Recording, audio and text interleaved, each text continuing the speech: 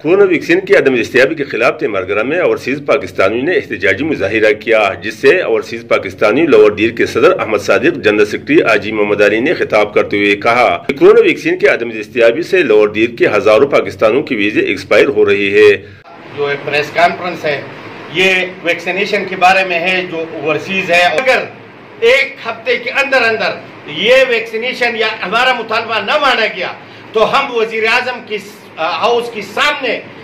हज़ारों की तादाद से लोगों को लेकर ले जाकर वहाँ पर हम धरना भी देंगे और भूख हड़ताल भी करेंगे। उन्होंने कहा कि सऊदी हुकूमत चाइना कोरोना वैक्सीन को कबूल नहीं करते, इसलिए हुकूमत हंगामी इकदाम उठाकर सऊदी अरब और दीगर खलीज ममालिक को जाने वाले ओवरसीजों के लिए सऊदी हुकूमत को काबिल कबूल वैक्सीन का बंदोबस्त किया जाए। उन्होंने डेडलाइन देते हुए खबरदार किया अगर एक हफ़्ते के अंदर अंदर ओवरसीजों के लिए कोरोना वैक्सीन फराहम का बंदोबस्त नहीं किया गया तो ओवरसीज वजी हाउस के सामने धरना और बुक हड़ताली कैंप लगाने आरोप मजबूर होंगे।